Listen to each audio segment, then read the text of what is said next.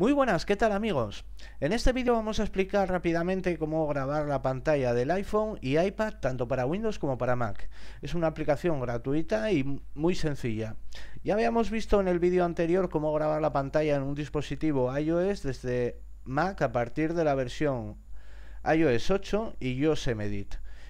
Con este programa que se llama Lunia Screen podemos ampliar la funcionalidad a Windows desde Windows 2000 hasta Windows 10 y en Mac desde OS X 10.6 en adelante. Según la página del desarrollador, funciona con iOS 9 o posterior, pero nosotros lo hemos probado también en un iPhone 4S con iOS 8 y funciona con normalidad. La página oficial de descarga la vamos a dejar en las notas debajo del vídeo y la instalación es muy sencilla. Una vez descargado, lo ejecutamos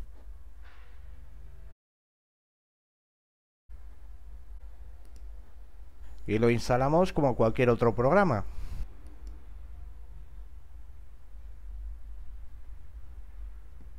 Y una vez que se abra, le podemos cambiar el nombre que se va a mostrar en el AirPlay del iPhone. Nosotros vamos a poner Apple Maníacos. En el Mac es exactamente igual.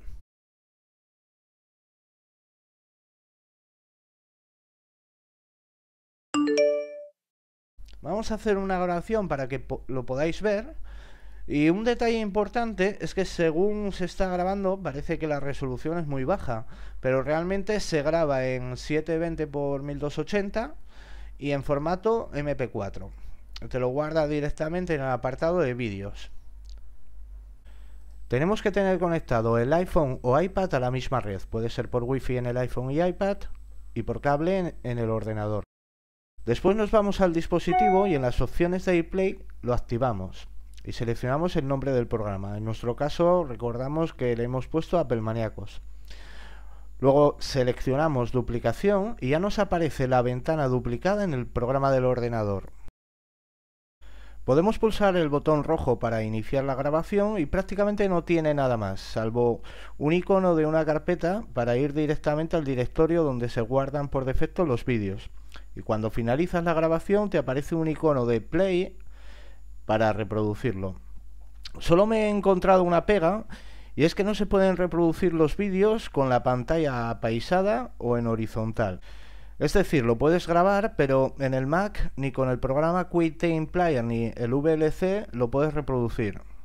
No he probado con algún otro programa ni tampoco en Windows, así que si alguien lo prueba puede dejar un comentario en las notas debajo del vídeo. De todas formas, en futuras versiones quizás lo solucionen. Esto está muy bien para los youtubers que quieran grabar partidas de algún juego para su canal o para hacer tutoriales como este que estoy haciendo yo. Y eso es todo amigos, recordar suscribiros al canal para que podamos subir más vídeos como este. Como siempre os mandamos un saludo, nos vemos en el foro o en el próximo vídeo. Hasta luego. Thank you.